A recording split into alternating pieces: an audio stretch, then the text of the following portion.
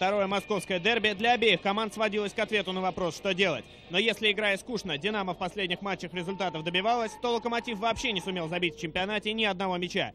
Неожиданно на стадионе обнаружилась тень булгаковского Шарикова. Вместо традиционных афиш стены украшал лозунг «Локомотив Полиграф».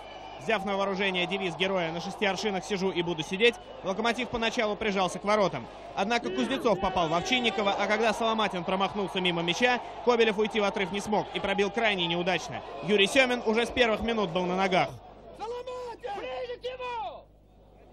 Первую угрозу воротам Сметанина создал защитник Аганесян, но даже двух ударов оказалось мало. Динамовская оборона в начале матча играла четко и не давала сопернику шансов. Единственным козырем локомотива оставались стандартные положения.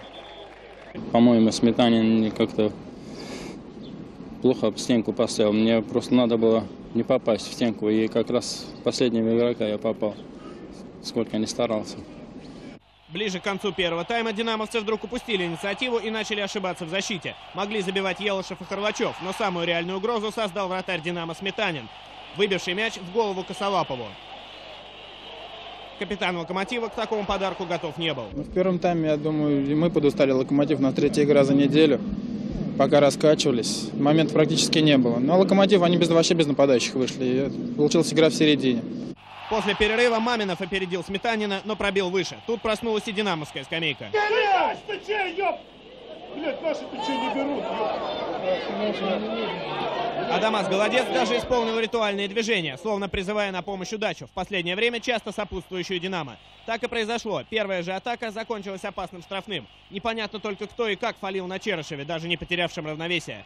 Но стандартное положение явно не динамовский конек. Кобелев пробил в стенку, а Кузнецов добивал с очень большого расстояния. Если брать школьную шкалу оценок, сколько можно «Динамо» поставить за сегодняшнюю игру?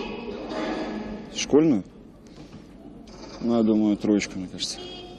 В атаках «Локомотива» ошибок было не меньше. Косолапов забросил мяч в штрафную, но ни Хорвачев, ни Джанаши обработать его не смогли. На счастье, рядом оказался Маминов, но Сметанин достойно справился с единственным опасным ударом по своим воротам. На этом матче зрительская аудитория была неприлично малой – 5000 человек. Верхние ряды трибуны вовсе оккупировали птицы.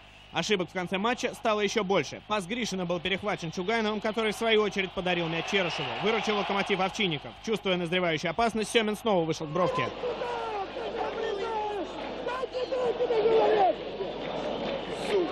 К концу игры «Локомотив» окончательно сник. Черышев навесил штрафную, а Терехину никто и не думал мешать забивать, правда из офсайда. Однажды расслабившись, собраться очень сложно. За мгновение до свистка Терехин снова оказался в одиночестве перед воротами, но попал в штангу. 0-0 в этом матче не сравнить с 0-0 в исполнении ЦСКА и «Спартака». Такой нет уверенности, чтобы выйти спокойно и раскатать любую команду, в том числе даже и московские команды. Без результата немножко. Но я думаю, поправим, поправим. Не забиваю уже четвертую игру. Я в каждой игре по два момента и не могу забить. Для нападающего самое главное гол это все. Забил гол, оценка 5. А без голов тренеры, и ребята смотрят уже косо. Самому неудобно.